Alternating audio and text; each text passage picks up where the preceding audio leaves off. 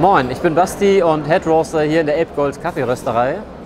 Und das ist der Espresso 9 Bar. Und die Idee hinter dem Kaffee ist, dass er halt schmeckt wie so ein typischer Italienurlaub.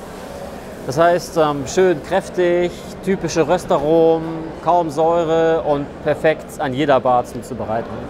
Wir bei uns verwenden ihn auch als ähm, Tagesespresso in jedem unserer Cafés.